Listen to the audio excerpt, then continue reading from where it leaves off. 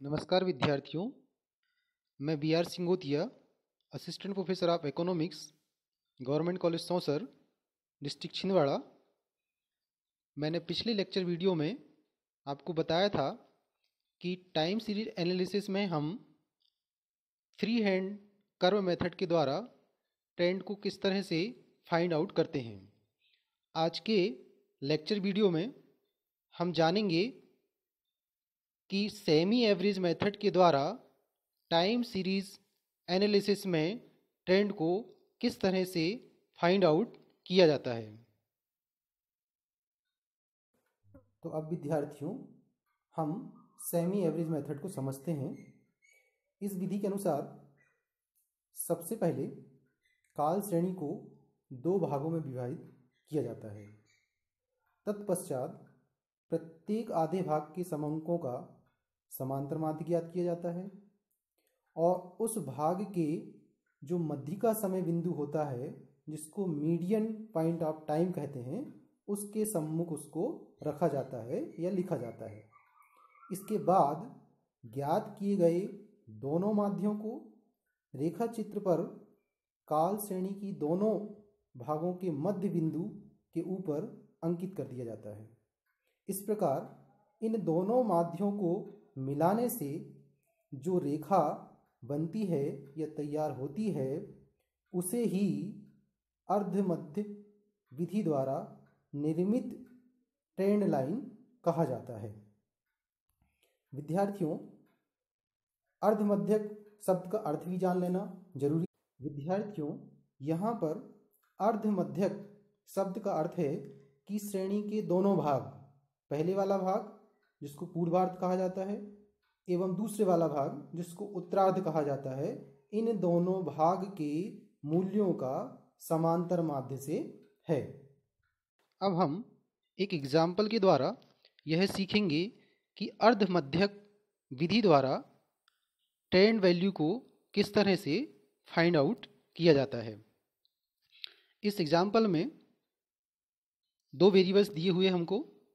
पहला वेरिएबल्स दिया है हमको ईयर दूसरा वेरिएबल्स दिया हुआ हम, हमको एक्सपोर्ट इन दोनों वेरिएबल्स से हमको ट्रेंड वैल्यू फाइंड करना है और वह भी सेमी एवरेज मेथड से हमको ट्रेंड वैल्यू फाइंड करना है। इस स्क्रीन को देखिए आप। इसमें दो वेरिएबल्स ईयर और एक्सपोर्ट ये हमको सवाल में ही दिया हुआ था। ईयर हमको 1950 से उन्नीस सौ चौंसठ तक दिए हुए हैं और इनके एक्सपोर्ट वैल्यू दी हुई है, जो कि हमको करोड़ रुपए में दी हुई है। तो सबसे पहले हमको जो वर्ष दिए हुए हैं 1950 से उन्नीस सौ चौहत्तर और उनकी जो एक्सपोर्ट वैल्यू दी हुई है, इसको हमको इस पूरी डाटा सीरीज़ को दो बराबर भागों में डिवाइड करना होगा। यहाँ पर आप देखिए विद्यार्थियों, जैसे कि ईयर जो दिया हुआ है हमको 1950 से उन्नीस सौ सत्तावन तक, ये सात ईयर हो गए। इनकी वैल्यू को हमने जोड़ा, इनके एक्सपोर्ट वैल्यू को हमने जोड़ा, इनका एवरेज आया 88.2 ये इसका टोटल आया। इसमें चूँकि सात वर्ष का जोड़ किया हमने, इसलिए सात का हमने इसमें डिवाइड कर दिया। तो हमको जो मीन मिला, जो एवरेज मिला, वो है 12.6 इसी तरह से उन्नीस सौ अट्ठावन से उन्नीस सौ चौंसठ तक ये भी सात वर्ष हैं। इनके एक्सपोर्ट वैल्यू को हमने जोड़ा, वह आया 126.2 इसमें हम सेवन से इसको डिवाइड कर देंगे। तो हमें इसका आंसर मिलेगा 18.6 यही एवरेज है, यही कहलाएगा क्या? मीन। इस तरह से इसमें हमने देखा कि श्रेणी को हमने दो बराबर भागों में विभाजित किया। ऊपर वाला भाग, पहला भाग, जिसका एवरेज कितना आया?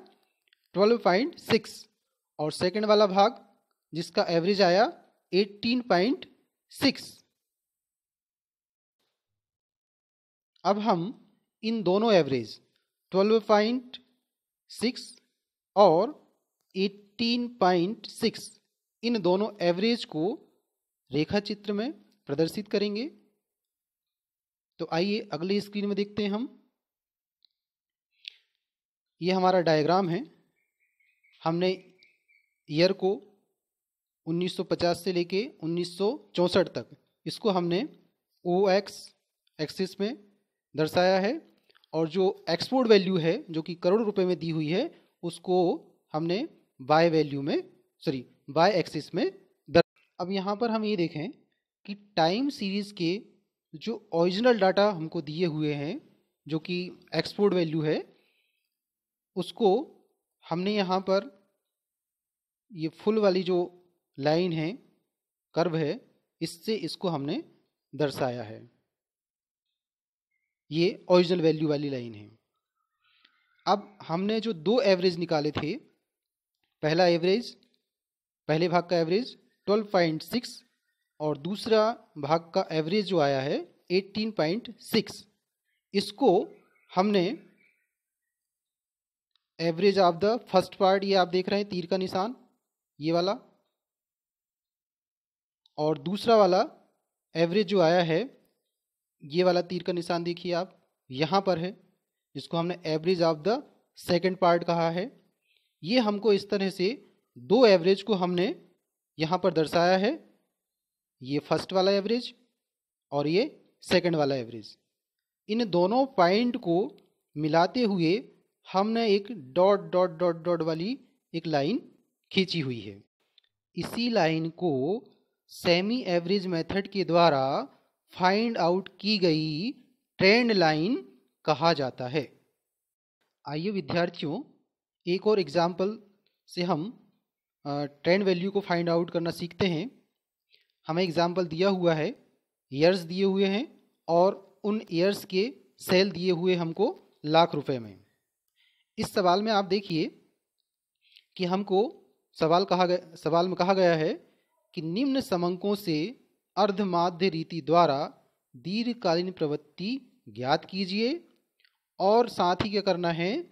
1999 की बिक्री का अनुमान भी हमको इसमें लगाना है। तो यहाँ पर हमको ट्रेंड वैल्यू भी फाइंड करनी है और 1999 की जो सेल हैं, उसको भी हमको एस्टिमेट करना है। अब आप इस सवाल में ध्यान से देखिए। इस क्वेश्चन में जो ईयर दिए हुए हैं, वह सात ईयर दिए हुए हैं। अब इन सेवन ईयर्स को हम आधा आधा कैसे डिवाइड करें? अब हमारे सामने ये प्रॉब्लम है। तो इसको हम इस तरह से सॉल्व करेंगे। आप इस स्क्रीन को देखिए। पहले कॉलम में ईयर्स हैं, दूसरे कॉलम में सेल्स दी हुई है, और तीसरे कॉलम में हमने सेमी टोटल किया हुआ है। तो जो ईयर्स हमको सेवन ईयर्स दिए हुए हैं इन ईयर्स को हमने क्या किया? पहले तीन ईयर्स 1992, 93, 94 इन तीन ईयर्स के जो सेल हैं 21, 25, 23 इन तीनों वैल्यू को हमने जोड़ा। तो ये सेमी टोटल हमारा कितना आया? 69 इसी तरह से हमने 1996, 97, 98 ये तीन वर्ष और लिए और इनकी सेल वैल्यू है 37, 32, 36 इन तीन वैल्यू को जोड़ा इसका सेमी टोटल आया 105 यहाँ पर देखिए विद्यार्थियों हमने 1995 ईयर्स की जो सेल वैल्यू है कितनी? 30 इसको हमने इग्नोर कर दिया है, क्योंकि यह ईयर जो है, उन्नीस सौ पंचानवे जो ईयर ईयर है, यह सीरीज़ के बीचों बीच में है। ना तो वह सीरीज़ की पहले वाले भाग में शामिल हो सकता है और ना ही दूसरे वाले भाग में शामिल हो सकता है। इसलिए हमने इसको छोड़ दिया है इग्नोर कर दिया है। और केवल सीरीज़ के ऊपर के तीन वर्षों के सेल्स को जोड़ा है और नीचे के तीन वर्ष के सेल्स को जोड़ा है। इस तरह से हमने सेमी टोटल्स को निकाल लिया है। तो श्रेणी का जो पहला भाग है, उसका सेमी टोटल कितना आया है? सिक्सटी नाइन दूसरे का वन हंड्रेड फाइव अब आप ये सेमी एवरेज वाला कॉलम में देखिए। हमको सेमी एवरेज टोटल मिला था सिक्सटी नाइन ये सिक्सटी नाइन है। इस सिक्सटी नाइन को हमने थ्री से डिवाइड किया। थ्री से इसलिए हमने डिवाइड किया क्योंकि यह है सेमी एवरेज टोटल जो आया है, वह तीन वर्षों के सेल्स का योग है, इसलिए हमने तीन का इसमें डिवाइड किया है। तो हमें सेमी एवरेज मिल गया कितना? ट्वेंटी थ्री इसी तरह से हम सेकेंड पार्ट श्रेणी का जो सेकेंड पार्ट है, उसका सेमी टोटल आया है वन ज़ीरो फाइव इसमें हम भाग देंगे तीन का तो हमें सेमी एवरेज मिल जाएगा कितना? थर्टी फाइव विद्यार्थियों, इस तरह से हमने ये लास्ट वाला कॉलम देखिए आप, हमने इस तरह से श्रेणी को दो बराबर भागों में विभाजित करके पहले वाला भाग का semi average twenty three find out किया और सेकंड वाले भाग का thirty five semi average find इस तरह से हमने श्रेणी के पहले भाग का सेमी एवरेज 23 फाइंड आउट किया, जिसको हमने 1993 ईयर्स के सामने लिखा है। और दूसरे वाले भाग का सेमी एवरेज हमने 35 फाइंड आउट किया है, जिसको हमने 1997 ईयर्स के सामने लिखा है। अब इन दोनों सेमी एवरेज 23 और 35 इन दोनों को हम एक रेखा चित्र में प्रदर्शित करेंगे और ट्रेंड वैल्यू को फाइंड आउट करेंगे। तो इस रेखा चित्र को देखिए विद्यार्थियों आप लोग। इस रेखा चित्र में ईयर्स को हमने ओ एक्सिस पे और सेल्स को हमने ओ बाय एक्सिस पर दर्शाया है। यहाँ पर ये जो फुलफिल वाली लाइन है, ये वाला वक्र, ये उस वैल्यू से हमने इसको बनाया है, जो हमको सवाल में ओरिजिनल वैल्यू दी हुई है, ये वाली। इससे हमने इसको बनाया है। अब हमने जो दो सेमी एवरेज निकाला है ट्वेंटी थ्री जो कि किस वर्ष के सामने है? नाइनटीन नाइन्टी थ्री के सामने। और थर्टी फाइव सेमी एवरेज है, किसके सामने? नाइनटीन नाइन्टी सेवन के सामने। इसके सामने हम इसको दर्ज ये नाइन्टी थ्री हुआ। इस नाइन्टी थ्री के ऊपर हमको ट्वेंटी थ्री को दर्शाना है। तो ये आएगा यहाँ पर। ये, यानी ट्वेंटी फोर के नीचे वाली लाइन पे। और अगला जो सेमी एवरेज है थर्टी फाइव इसको हमको दिखाना है कहाँ? नाइनटीन नाइन्टी सेवन पर। तो 1997 ये है। इसके ऊपर आप देखिए 35 35 यानी ये 36 की जो लाइन है, उससे थोड़ा सा नीचे आएगा। यहाँ पर। इन दोनों बिंदुओं को मिलाते हुए हमने एक डॉट डॉट डॉट डॉट वाली लाइन खींचा है। यही सेमी एवरेज मेथड के द्वारा खींची गई ट्रेंड लाइन कहलाती है।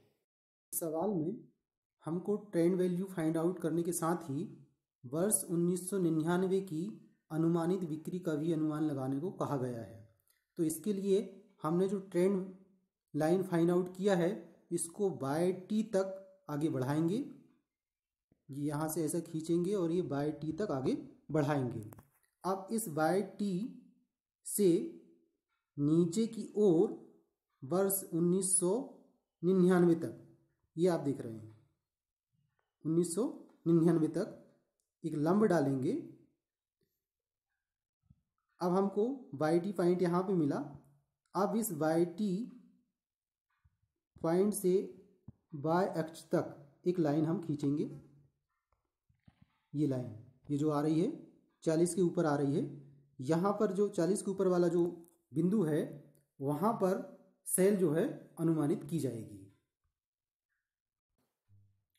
विद्यार्थियों, हम उन्नीस सौ निन्यानवे की जो सेल है, उसको गणितीय विधि के द्वारा भी अनुमानित कर सकते हैं। यानी ट्रेंड वैल्यू को हम मैथमेटिकल मेथड से भी निकाल सकते हैं।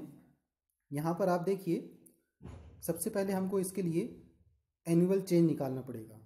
एनुअल चेंज निकालने के लिए उन्नीस का जो सेमी एवरेज है, वो कितना है? Thirty five. उन्नीस सौ तिरानवे का सेमी एवरेज है ट्वेंटी थ्री। इस तरह से thirty five minus twenty three equal to कितना हुआ? ट्वेल्व। यानी ये ट्वेल्व जो आया, सेमी एवरेज का डिफरेंस आया। इसी तरह से उन्नीस सौ और उन्नीस सौ तिरानवे। इन दोनों वर्ष के बीच में गैप कितना है? चार वर्ष का। तो twelve divided by four equal to three यानी ये हमको थ्री जो मिला, ये एनुअल चेंज मिला है हमको। अब इस सवाल में हमने उन्नीस की semi average value thirty five निकाला है, जिसको हमने गिवन लिखा है। और उन्नीस की ट्रेंड वैल्यू कैसे निकालेंगे हम? उन्नीस की हमको सेमी एवरेज दिया हुआ है thirty five plus annual change कितने का है? थ्री का है तो थ्री उसमें जोड़ देंगे।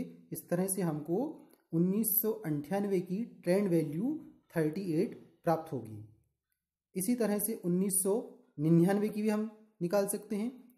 ट्रेंड वैल्यू उन्नीस सौ निन्यानवे की ट्रेंड वैल्यू निकालने के लिए जो उन्नीस की ट्रेंड वैल्यू है थर्टी एट इसमें प्लस करेंगे थ्री, इक्वल टू हो जाएगा ट्वेंटी वन। इस तरह से उन्नीस सौ निन्यानवे की जो अनुमानित बिक्री होगी, वह फोर्टी वन होगी। ये हमने गणितीय विधि से ट्रेंड वैल्यू फाइंड आउट किया है। इसी को हमने इस रेखा चित्र में भी फाइंड आउट किया था। वह भी फोर्टी वन आ रही थी। फोर्टी के ऊपर लाइन है, इसका मतलब है कि ये फोर्टी वन धन्यवाद विद्यार्थियों। आज के लेक्चर वीडियो में आपने यह सीखा कि किस तरह से सेमी एवरेज मेथड से हम ट्रेंड वैल्यू को फाइंड आउट कर सकते हैं। आशा है कि आपको ये लेक्चर वीडियो पसंद आया होगा। जो जो भी इसमें आपको समझ में नहीं आया हो तो वह मुझे कमेंट्स करके नीचे पूछ सकते हैं। धन्यवाद।